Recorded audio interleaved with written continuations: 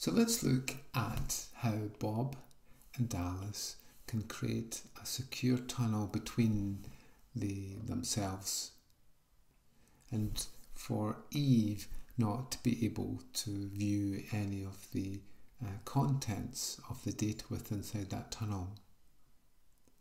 So for this, we typically need what's called a key exchange method. And this is where Bob and Alice can create the same encryption key without Eve being able to discover what that key is. The most typical method that we use is elliptic curve Diffie-Hellman, derived from the Diffie-Hellman method but using elliptic curve methods. And the E stands for ephemeral. That means that we create a unique key each time and a hack of any of the keys will not breach the previous keys or the ones that follow. Then we'll find if we want to stop uh, Eve from pretending to be Bob and Alice, we create an RSA signature. So we're using key exchange and we're also using a signature method to be able to prove that Bob is Bob and Alice is Alice.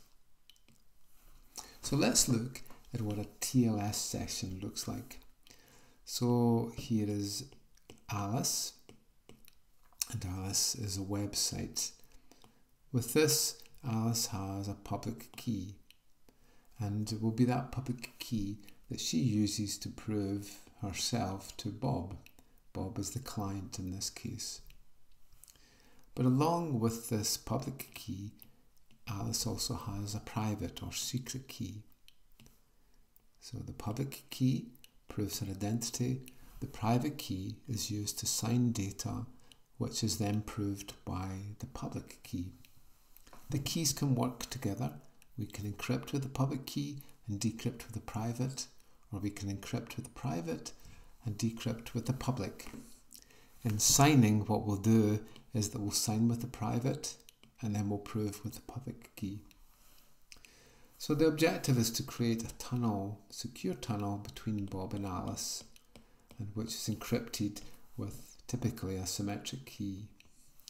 So Bob and Alice will end up with the same symmetric key at the end of it and will encrypt the data into the tunnel with that key and decrypt with the same key.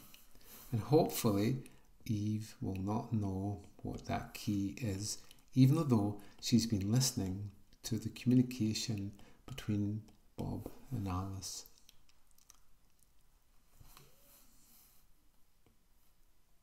So we need to protect against uh, Eve from breaking the tunnel and listening to the communications in between. When we connect with TLS, we connect to port 443 TCP, and then the client sends a client hello. This contains this, all the cipher suites that Bob wants to use. Then the server selects one of those cipher suites and sends back a server hello to Bob with the cipher suite that the server wants alongside the certificate with the public key. If the public key has been signed by an entity that Bob trusts, he will trust the public key. So the things we need to negotiate uh, between Bob and Alice for the tunnel is obviously the symmetric key method that's going to be used. Typically that is AES or CHA-CHA20 but we can use other symmetric keys in some cases such as 3DES and RC4 RC2 and this can be 128 bit or 256 bit uh, AES or CHA-CHA20. The second thing we need to negotiate is the hashing method. This allows us to keep the integrity of the data. So typically we will use SHA-256 or SHA-1, which is 160-bit uh, hashing method that isn't used that much. we probably will be using SHA-256 or above. And the last thing is the key exchange method that we're going to use. And there's three main methods here. The first is plain old Diffie-Hellman ephemeral. The second is to use elliptic curve Diffie-Hellman. And the third is to use RSA to, to exchange the key. With this, we use Alice's public key to encrypt the symmetric key and then send that back and then Alice will decrypt that with her private key. This is not a good method and has been dropped in TLS 1.3 because a long-term uh, hack of the private key of Alice can cause all of the keys to be revealed. So we typically only use ephemeral uh, methods and not RSA. So those are the three things that we need to do. But we also need to make sure that Eve doesn't get in the middle. So we typically use RSA or ECDSA for the signing of the keys that get passed back and forward. So we're using uh, both a key exchange method and a signing method to make sure that we authenticate the session. So let's have a look at a typical or an example capture from a website. So we use this paper here which is quite uh, up to date and it collected uh, TLS sessions from two main websites. What we see here is the key exchange method, the symmetric key method and the hashing method. So we have elliptic curve Diffie-Hellman uh, ephemeral with RSA signatures. We have 128-bit AES with GCM mode, very typical mode, and SHA-256. Sometimes we get ECDS. So ECDS is an elliptic curve signing mode that's using Bitcoin and also Ethereum. But we can see it's not very popular so only about 10% of the websites we're using, or 9%, were using the elliptic curve Diffie-Hellman signing. The majority are using RSA. And the reason for that is that most of the websites on the, on the web uh, use RSA keys to prove themselves.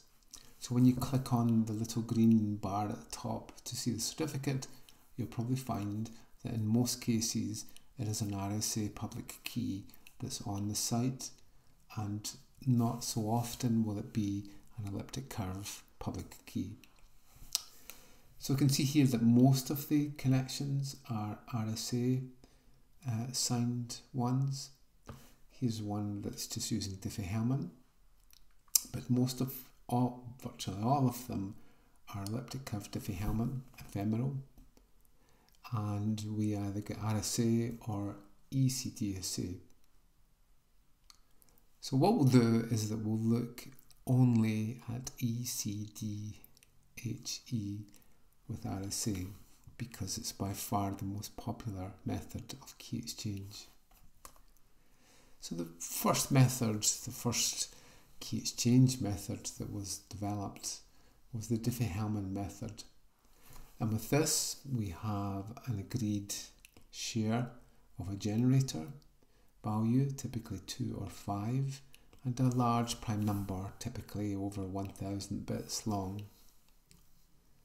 This is agreed between Bob and Alice. Then Alice computes g to the power of a, and a is a number between 1 and p minus 1, a random number. And then because of the difficulty of discrete logs, it's not possible to find out the value of A knowing G, A and P. So she passes that value to Bob. Bob does the same, does his computation, passes his value, and then uh, we will take Bob's value, raise it to the power of A, and because of the rules of logs, we end up with g to the power of AB, mod P, and Bob will take A that he got from Alice, raise it to the power of B, and get the same shared key. So the problem with this method is that Eve could be in, the, in between and negotiate values between Bob and Alice, and Bob and Alice would never actually know that the values they were receiving were coming from Eve and not from um, the other side. Unfortunately, the size of the prime number has increased, so we need at least uh, a thousand bits and more to do our discrete log calculations to be secure. A much better solution is elliptic curve methods, which have a curve. If you're interested, um, it uses a curve such as this a plus b uh, y squared is equal to x cubed uh, ax plus b mod of a prime number. And the advantage with elliptic curve is that that prime number is only possibly about 256 bits long. It varies in size, but uh, the Bitcoin and Ethereum uh, curve is only 256 bits long, so it's, it's much smaller than our big prime numbers we used in discrete logs. Typical curve is SEPT 256K1 and that's used in Bitcoin and Ethereum. So with this, uh, what we do is that we have a base point g, an x and a y value, and we have a random value a. So we add g a times, and we end up with another point on the curve, which we can represent as a times g, but it's actually g added to itself a times. And it's a very efficient operation in elliptic curve. This is a point, an xy point. This is a scalar value. This is a point. So if this is 256 bits long, this is 512 bits long. So we take AG to create A, and B is B times G. Then, rather than using uh, ex, ex, exponentials, which is a more uh, computational expensive uh, operation, we can use multiplications and we end up with ABG uh, as our point that both Bob and Alice uh, share. Then we can put it through an HMAC key derivation function to create the end key that Bob and Alice are going to use. Again, the problem is, is that Eve could be in the middle and we don't know if she's the one that's communicating with Bob and Alice and breaking the tunnel by creating two encryption keys. So let's solve this problem and the way it's solved on the internet is to use elliptic curve Diffie-Hellman ephemeral with RSA signing. With this we have two long we have long-term key pairs, typically either RSA or elliptic curve ones. We will sign for RSA uh, signatures with the RSA key pair or use ECDSA for the elliptic curve key pairs. And it's the same again, we just use generate the same values, but this time for our x and a y value, we'll take a hash of that and then we'll use a private key to create a signature. Then that's sent over and Bob will check the hash of the point and then use the public key to be able to decrypt the signature and check the hash values are still the same. In this way, he will know that it was Alice who sent the points because only she can have the private key associated with the public key. And if we want mutual authentication, we can authenticate on both ways. But most of the time on the internet, it's really the client, uh, the server authenticating itself to the client. So again, we end up with the same key so with RSA, we generate two prime numbers. If these are 100 512 bits long, we end up with a 1000 uh, uh, bit, 1024 bit modulus. Then we take the value of phi, and only if we know p and q can we calculate phi, p minus 1 times q minus 1. Then we pick e, typically e is that value, and we then take the inverse mod of e uh, mod phi to calculate d, our private exponent. So our private key becomes D and N, and our public key becomes E and M. N is the modulus. To create the signature, what we do is that we take our value, in this case it's the hash of the x and y point, and then we raise it to the power of d, our private exponent, and then take mod m. And then on the other side to check, we'll take what we receive, raise it to the power of e, take mod n, and we should get back our message, or in this case the hash of the points. So in this way we can actually create a signature for the point and then we can prove on the other side. So that Bob will be able to prove that it was Alice who sent the, the, the A value correctly. If Eve tries to do it, then the, the, uh, the signing will not tally. So here is some code. Uh, we generate N, E and D for Bob and Alice. We generate their points uh, b times g and a times g. And then we hash the public point and then create a signature for it using the hash, the n value and the private exponent. After that, we can then verify uh, the the the uh, signature, and if that's verified, we can go ahead and we can actually create our shared key. So let's see if we can see our example here. So we'll take 256 bit RSA keys. So here is the uh, public exponent, the private exponent, and the modulus. So this is the Bob's key pair. This is Alice's key pair, and this is the elliptic curve scalar value for A, and here is the elliptic curve point that she will pass to B to Bob. Same again, Bob has this private uh, key value, the B, and then this is the BG value. We check the signatures to make sure they work, and in the end, hopefully, fingers crossed, they will end up with the same uh, uh, point. We will then put this into a key derivation function to be able to to generate a shared key. Okay, the code's quite simple. Generate P and Q randomly, calculate the modulus, calculate phi, there's E, we calculate our D value, and that's our key.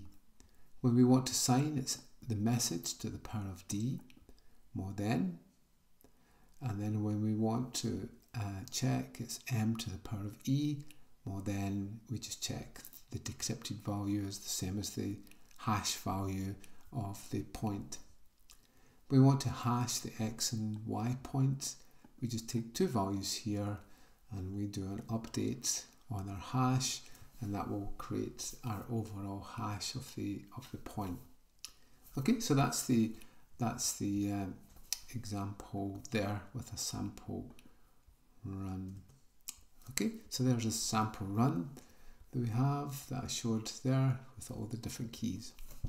Okay, so that's been an outline of elliptic curve Diffie-Hellman ephemeral with RSA. Thank you.